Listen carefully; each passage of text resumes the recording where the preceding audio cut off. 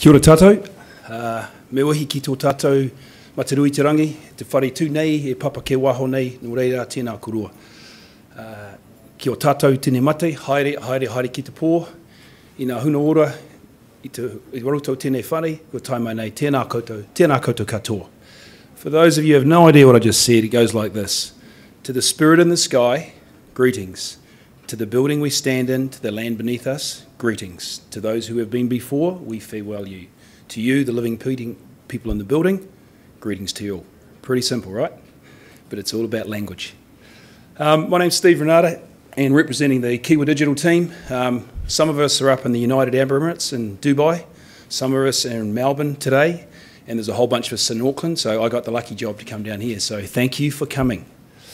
I figured at about 2.30, having done one or two presentations in my life and sat through a few, this is about video fest time.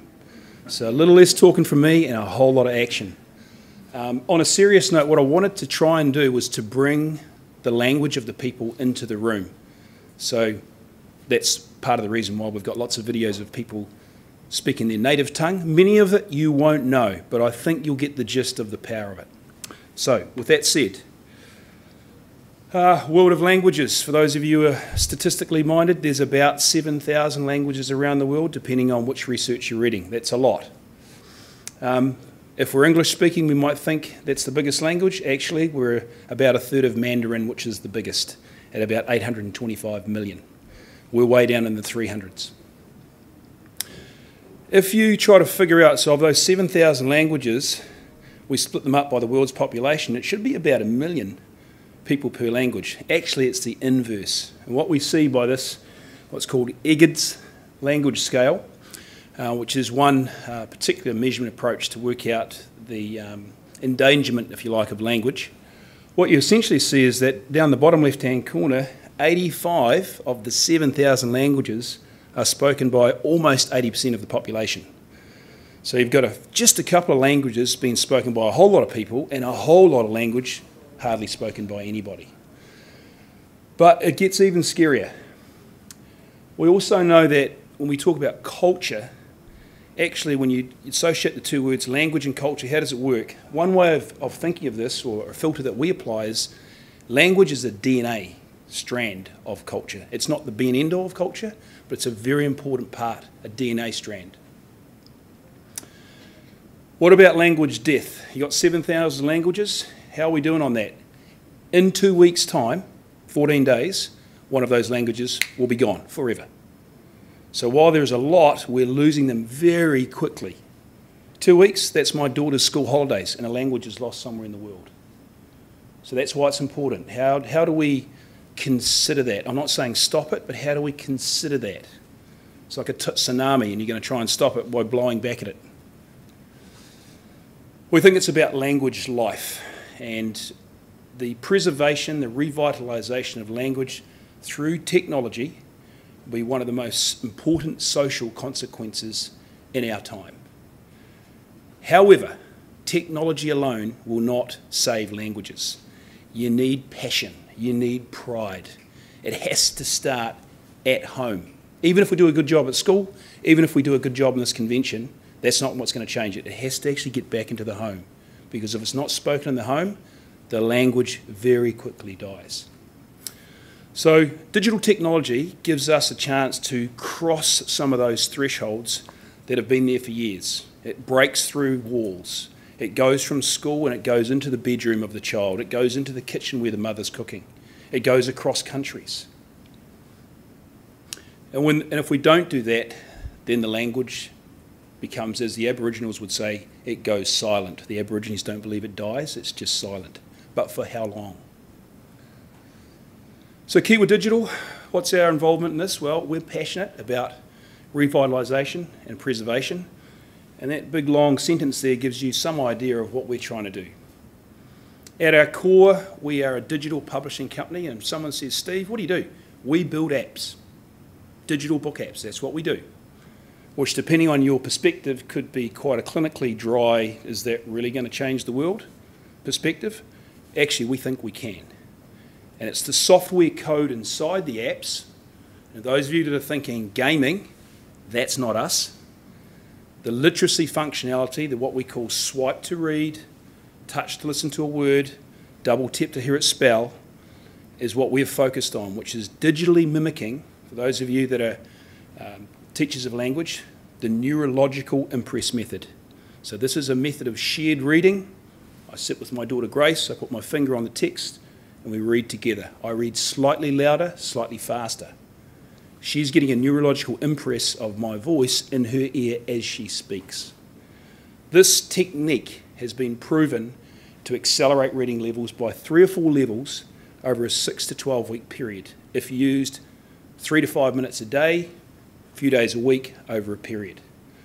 What we've done at Kiwa is taken that concept and digitally mimicked it in the software code. So while we have what's called audio books, actually it's a lot more than that.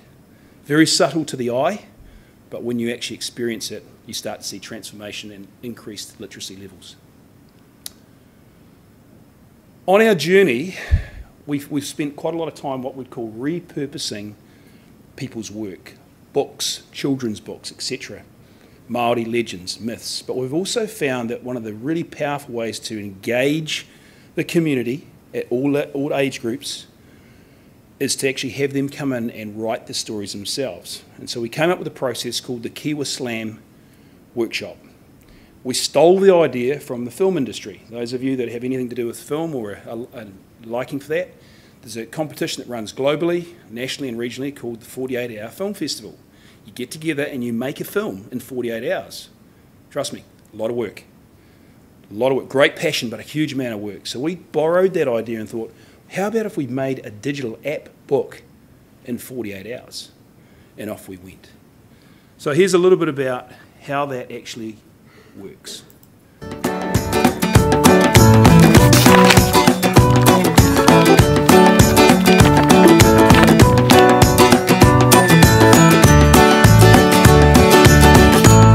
The Kiwa Slam program has been designed to work with partners to create transformative experiences. So we um, let um, imagination run wild, like just let all the ideas pop in your head. It was epic fun. Delivered over two days, it allows team members to capture their stories in a world-class digital book. It isn't just writing a story, um, there's all these different facets that, that come in that they get exposed to.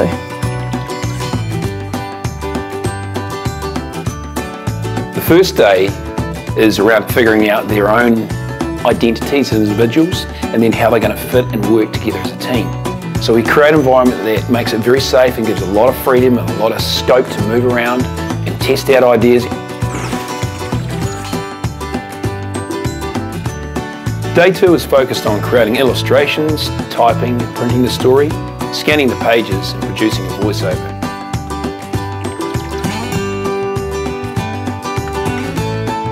But then being able to take those assets and put them into a really um, 21st century digital format is where you get the cool factor.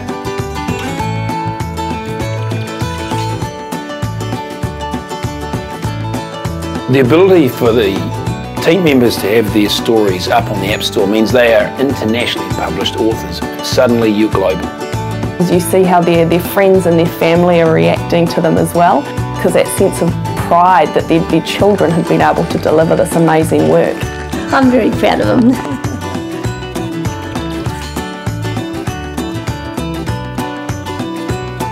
the results really do speak for themselves.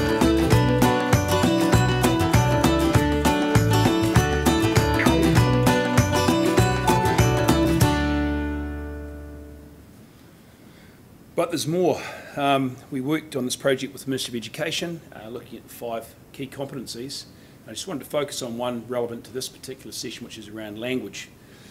And um, this is what the experts say about the language aspect. Let me just roll this forward for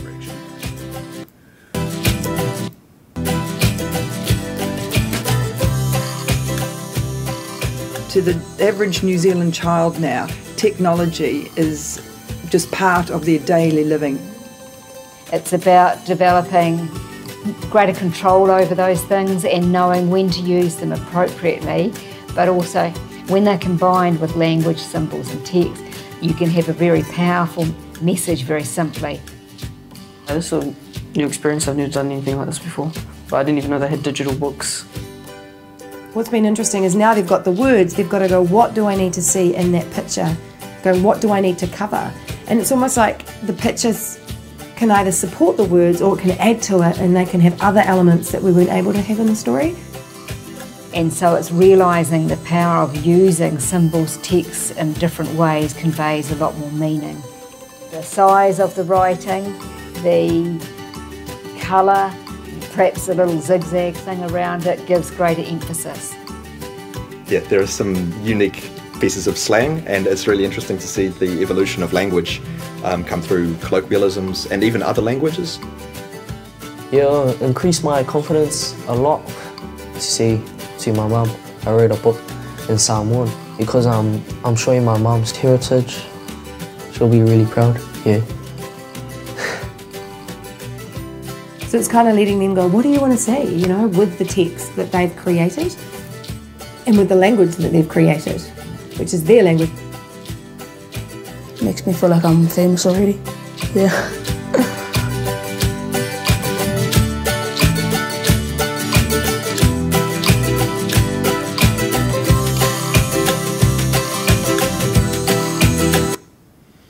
So lots of thinking, research, really getting out there and actually doing it with real people, um, but not only in this country, overseas. So while I've shown you that, the reason for that was just showing you the kind of extension in the history of Kiwa. The truth was, we started in Alaska a year earlier. So this, the one that you've just seen was about 14 months old. A year before that, we went to Alaska to work with the Cup'ik. And again, rather than me rant on about it, this is their story in two minutes.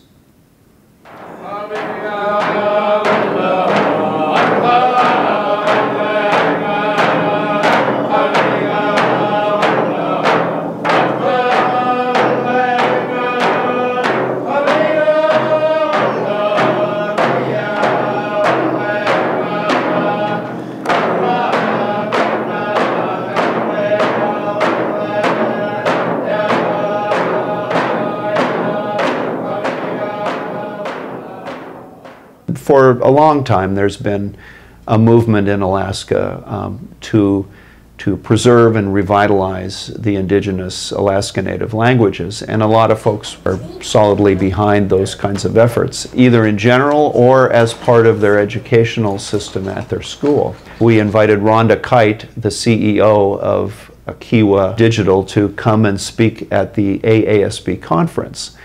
And uh, she did, but she also came with an idea of why don't we produce a book in 48 hours using students and some advisors, and we'll turn it around, we'll incorporate some languages in there, and, and it will be a way for intergenerations to work together to produce a product. They reacted very positively to it, and they, the, I think it was a really good cooperative learning experience for them. We did We Are Alaska on traditional values and how we are as a people and what we do.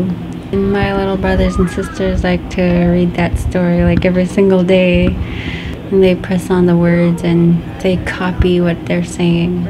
I think that's kind of cool, like especially since it's for the kids. It feels pretty good passing our our stories from our elders and from our long time ago ancestors so that we can be able to pass it on from generation to generation. So after the first QBook Slam, we were able to travel out to Chevak and share the book with the community. It's really cool to see their excitement and to hear them speak Cup'ik words as we demonstrated the book. How about your sister? The kids who participated in the slam gained instant credibility and were viewed as rock stars. This was the first QBook Slam in the whole wide world. So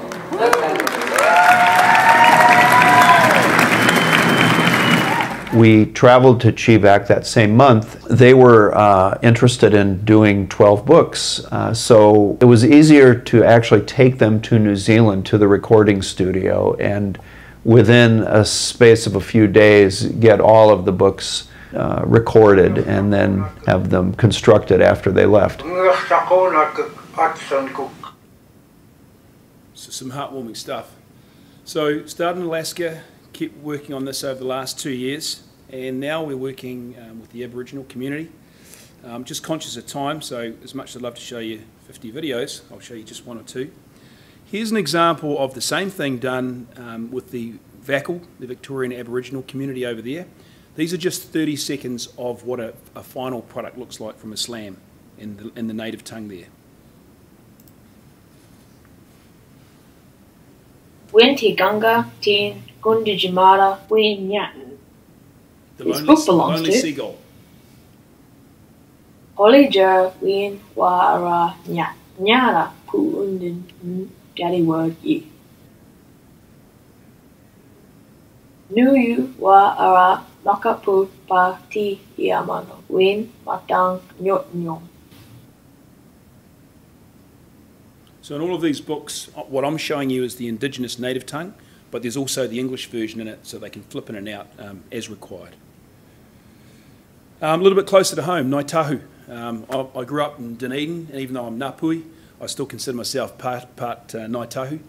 And uh, these are one of the iwi in the country that have really got their SHIT together in terms of language revitalisation, and they are investing a lot of resource into it, money, people, and um, we were very gracious to be invited to help them. So the first story for all iwi is the creation story. Those of you that are familiar with some of the Māori creation stories will probably be thinking of Ranginui, Papatuanuku. These words might be ringing a bell. However, if you go to Ngāi Tahu, we're not talking about those. We're talking about different characters, their version of how the world was created with people like Paikea and Tahu Pōtiki. So here's a little snapshot. This has never been shown in the world until today outside of Ngāi Tahu. True story. Oh, sorry, let me just go back one there.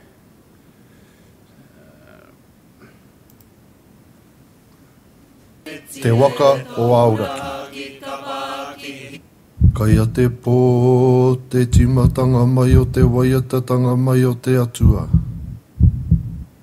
Nā te pō, ko te ao, nā te ao, ko te ao mārama, nā te ao mārama, ko te ao tūroa, nā te ao tūroa, ko te kore te whiwhia. Nā te kore te whiwhia, ko te kore te rawea, nā te kore te rawea, ko te kore te tāmāua.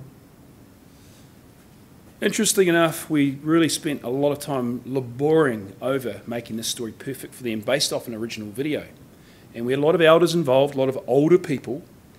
And then something really bizarre happened. We went down and did a slam uh, with Kāi Tahu, which is essentially the bottom half of the South Island, who don't want to call themselves Ngāi Tahu. It's a dialectic thing. We did the on the marae there at Otaputi, or Tako Marae, and we did a two-day slam. This time we brought in kaumatua, mums and dads, and children. And they came up with a four, a four chapter story which looks like this. One section of it, that is. Kai tahu, kai raro i te tui A o little te bird kaka. told me, is the translation.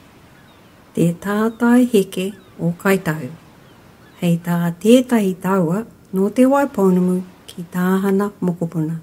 Nā rākai hautu ka roto o te waiponumu i kari. Koia te kaihautu o te waka uruao, tētahi o tuatahi i umai ki. Now, one of the interesting findings was we had an original myth legend that everybody was sort of dying over. We put all the work into it, did it professionally. We went and did a more human, realistic, make your own story. When we asked the kids, what do you like the most? Guess what the response was? First of all, the younger children want to hear a female voice. Hello, you'd think you'd get that, wouldn't you? So that was big learning. Younger children, ECE, make sure it's a female voice because they, they're responding to what naturally probably happens at home. Secondly, is the, the boys, they didn't want the old video stills done up by Kiwa. They wanted graphic novella, blood guts, give me fighting war stuff. So illustrations, you know, and again, because there was a lot of adults driving the process, we completely missed the boat in many ways. So we did a redo of everything and now everybody's happy, but what was the big message for us? Talk to the audience about digital. Don't talk to the adults. They'll get it wrong. Best intentions, but get it wrong. Um, another little example, this time a famous story, Kawiti, which is uh, from Ngāti way up in the far north. This was um, one of the chiefs that decided he didn't want to sign the treaty on February the 2nd, He decided he'd do it later on in May after negotiating, but he signed in the end, hooked up with Hōne Heke, who I'm a direct descendant of, and chopped the flagpole down. So how does that go? So this was a, a, a more of a repurposed book version of what we can do with language. Kia kakati te namu, he matara na kawiti. Nā waihoro i hōtere nei i tuhi, nā troi peka ngā pikitia. He poto te whiu a te ruki kawiti ki a hōpihana i Waitangi i te rima o Pēpuere tahi mano warurau. E hoki, he hapa au kone. So again, just giving you examples of different ways to repurpose work. Can't miss out Tainui, and this time we did a story on Poukai, which is essentially um, a celebration, a hui that's run uh, regularly with the, the Tainui people. But again, we figured out, let's talk through the voice of the female Okay. and the child. E haere ana koe kiwhia, e nana. E haere ana au, ki te paukai. Te paukai, nana. He aha tēnā, e nana. He aha te paukai. E noho mai nei e moko. Māku e whakamārama kia koe. Māku m a k u. So you can see the technology working there where you've got swiping to read, touch to hear one word, and then the spelling. Very important for literacy. Last but not least, um, moving back up to the United Arab Emirates, where their own language is in really big problems right now. So Rhonda Kite, our founder, is living up there in Dubai, trying to help resolve that with the government. And here's an example of a uh, Emirati's child, and first in English, and then chopping into his own dialect, which he's only just learnt through Slam. So enjoy.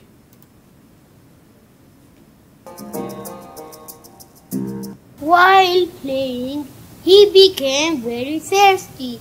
He walked up the mountain where he saw a little bit of water at the top. بينما كان يلعب شعر بالعطش الشديد فبدأ بتسلق الجبل فوجد القليل من الماء على قمتها The technology to do that is phenomenal. So it was easy going um, left to right and having characters like we do in English. As soon as we got into the Emiratis language, where it's all cursive and linked together, incredibly difficult from a software point of view, but we cracked it. So to wrap up, um, we asked our partners around the world, what do you think? What, what are we doing? And this is what they said.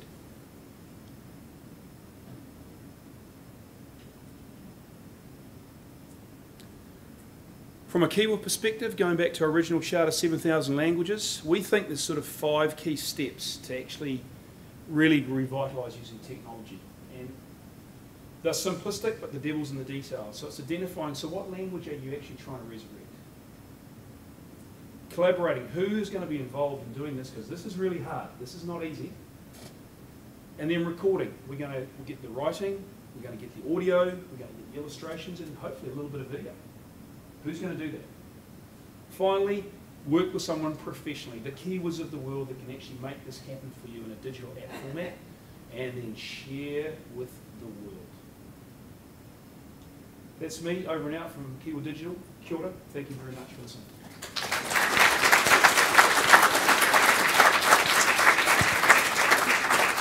Time for questioning. Yes? Couple questions. Hang on.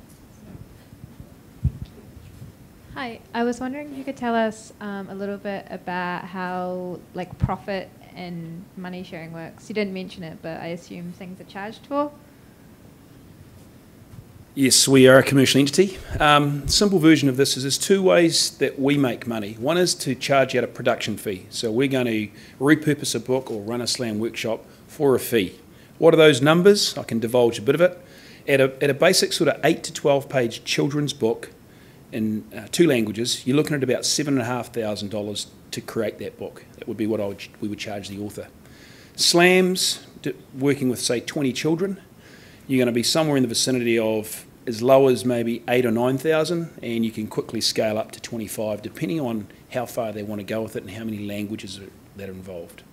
The big thing when you're building an- a digital audio app book in terms of cost is the audio.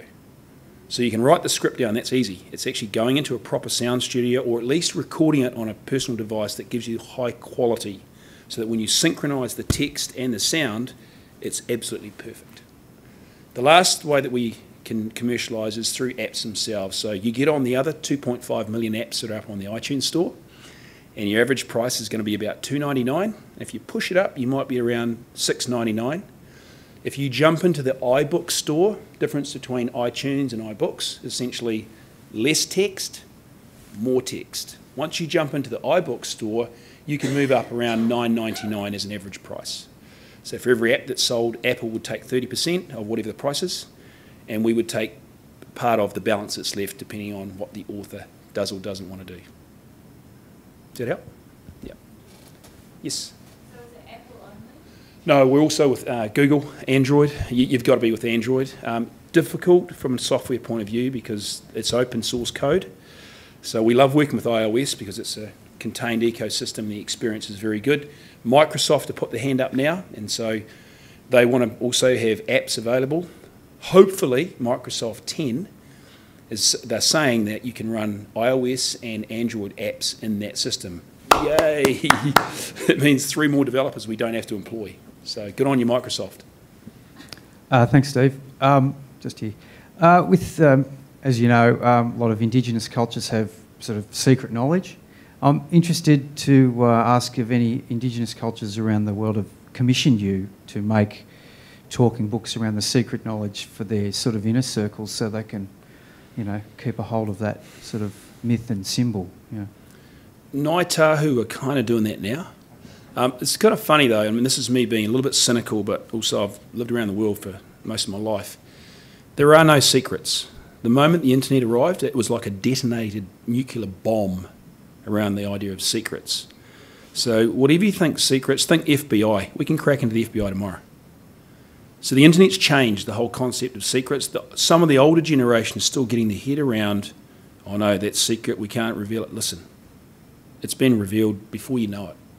In fact, the better way to do it is less secrets and focus more on how do you use the information. Because information is just information until you know actually how to use it.